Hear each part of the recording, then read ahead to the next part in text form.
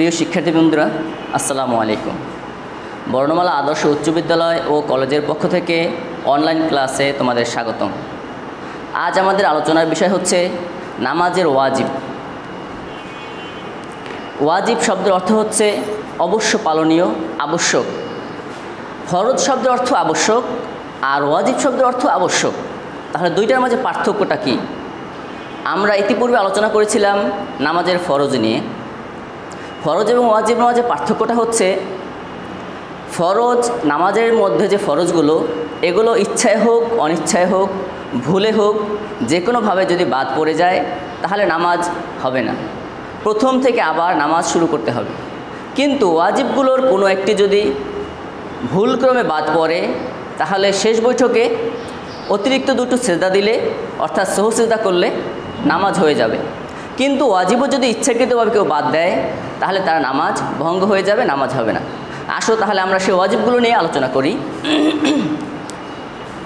প্রথম হচ্ছে আলহামদু পড়া, অর্থাৎ নামাজের মাঝে সুরা ফাতিহা পরিপূর্ণ পড়তে হবে, এটা পড়া ওয়াজিব।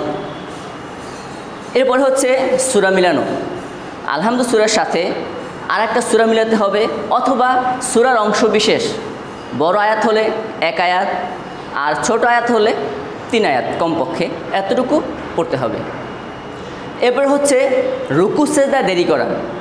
আমরা যে নামাজের মাঝে রুকু করি অথবা সেজদা করি, এই রুকু, সেজদাতে একটু দেরি করতে হবে। খুব তাড়াহুড়ো করলে আমাদের ওয়াজিব ছুটে যাবে, নামাজ ভঙ্গ হয়ে যাবে। এজন্য নামাজের যে ওয়াজিবের মাঝে রুকু, সেজদা দেরি করা অবশ্যই কমপক্ষে তিন তাসবি পরিমাণে রুকুতে হোক, সেজদাতে হোক, সেখানে দেরি করতে হবে। এরপর হচ্ছে আমাদের রুকু হতে সোজা হয়ে দাঁড়িয়ে দেরি করা। অর্থাৎ আমরা যে রুকু করি, রুকু করার পরে দাঁড়িয়ে সামি আল্লাহ হলিমান হামিদা, রব্বানা আলাকাল হাম অন্তত এতটুকু সময় পরিমাণ দেরি করতে হবে। যদি আমরা দ্রুত রুকু থেকে উঠেই আবার সেজদায় চলে যাই, তাহলে আমাদের নামাজ ভঙ্গ হয়ে যাবে, নামাজ হবে না। এরপর হচ্ছে দুই সেজদার মাঝে দেরি করা। আমরা যে দুটি সেজদা দেই, প্রথম সেজদা থেকে উঠে একটু বসে দেরি করতে হবে। কমপক্ষে কমপক্ষে এক তাসবি পরিমাণ দেরি করতে হবে। যদি আমরা সে দেরিটা না করি ইচ্ছাকৃতভাবে দ্রুত সেজদা করি, তাহলে আমাদের নামাজ ভঙ্গ হয়ে যাবে। এই জন্য অনেককে দেখা যায় যে এক সেজদার পর এক সেজদা, এক সেজদার পর এক সেজদা খুব দ্রুত করে। যদি এভাবে করা হয়, এত কষ্ট করে আমরা নামাজ পড়লাম, আমাদের নামাজ বাতিল হয়ে গেল। সুতরাং এভাবে করা যাবে না। অবশ্যই দুই সেজদার মাঝে একটু সময় হলেও দেরি করতে হবে। এরপর হচ্ছে শেষ বৈঠক। অর্থাৎ আখিরি বৈঠক যেটাকে বলা হয়, সেই বৈঠক করা ওয়াজিব। যদি কেহ আখিরি বৈঠক না করে, তাহলে তার নামাজ হবে না। উভয় বৈঠকে আত্মাহেতু পড়া যদি তিন রেখাত অথবা চার রাকাত বিশিষ্ট নামাজ হয়, তাহলে যে আমরা প্রথমে দুই রেখাতে পরে একটা বৈঠক করি, এই বৈঠকেও তাসাহুদ বা আত্মাহেতু পড়তে হবে। এর পরের বৈঠক, অর্থাৎ শেষ বৈঠকেও অবশ্যই আত্মাহেতু পড়তে হবে। এরপর ইমামের জন্য কেরাত আস্তে ও জোরে পড়া, অর্থাৎ যেই যেই নামাজের মাঝে জাহিরি কেরাত রয়েছে, জোরে জোরে কেরাত পড়তে হয়, যেমন ফজর, মাগরিব, এশা, এই নামাজগুলোতে যিনি ইমাম থাকবেন, তাকে অবশ্যই জোরে জোরে কেরাত পড়তে হবে। আর জোহর এবং আসর, এই সময় তাকে কেরাত পড়তে হবে আস্তে। কেউ যদি আসরের নামাজে জোরে কেরাত পড়ে, তাহলে তার নামাজ হবে না, ভঙ্গ হয়ে যাবে। আবার কেউ যদি জামাতে নামাজ পড়া অবস্থায় মাগরিবের নামাজে সে যদি ইমাম সাহেব আস্তে আস্তে কেরাত পড়েন, তাহলে তার নামাজ হবে না। নামাজ ভঙ্গ হয়ে যাবে, ওয়াজিব ছুটে যাবে। এরপরে বেতরের নামাজে দোয়ায় কুনুত পড়া। আমরা যে বেতরের নামাজ পড়ি, এশার নামাজের পরে, সেই নামাজে আমাদের অবশ্যই দোয়ায় কুনুত পড়তে হবে। দোয়ায় কুনুত পড়া ওয়াজিব। এরপর হচ্ছে আসো উভয় ঈদের নামাজে অতিরিক্ত ছয় ছয় তাকবির বলা। ঈদ উল ফিতর ঈদ উল আজহা, এই দুই ঈদের নামাজে আমাদেরকে অতিরিক্ত ছয়টা তাকবির দিতে হবে। এই তাকবির দেওয়াটা ওয়াজিব।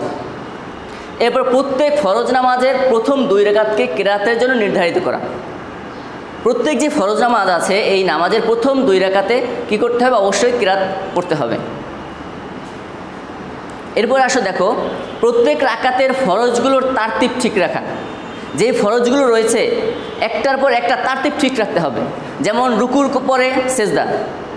এভাবে কেউ কেউ যদি কি করে, সেজদা আগে করে ফেলে, রুকু পরে করে, ইচ্ছাকৃতভাবে করলে তাহলে তার নামাজ হবে না। কিন্তু যদি এটা ভুলে হয়ে যায়, তাহলে শেষ বৈঠকে যদি সে কি করে সে, সাহু সিজদা দেয়, তাহলে তার নামাজ হয়ে যাবে। এরপর ওয়াজিবগুলোর তারতিব ঠিক রাখা। নামাজের মাঝে যে ওয়াজিব আছে, সেই ওয়াজিবগুলোর অবশ্যই তারতিব ঠিক রাখতে হবে। যেইটার পর যেটা, সেইটার পর ওটা ওভাবেই আদায় করতে হবে।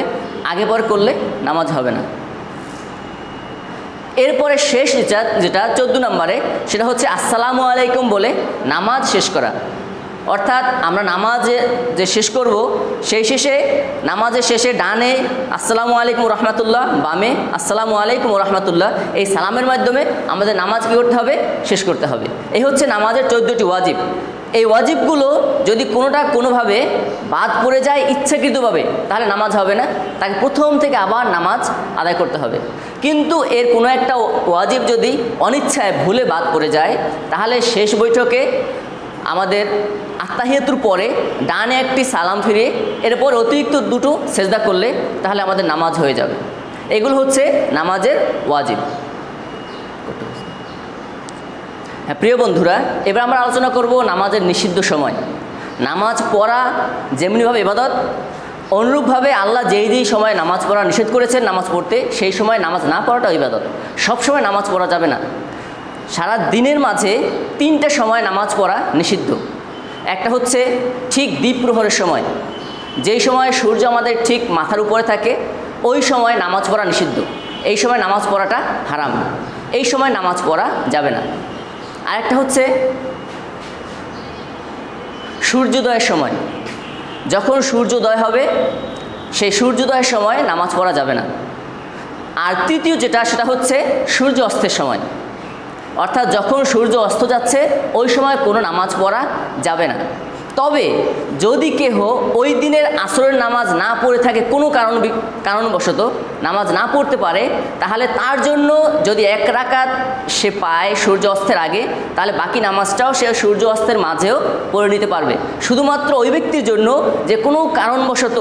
অলসতার কারণে নয় কোনো বিশেষ কারণবশত সে ওই দিনের আসর নামাজ পড়তে পারে নাই।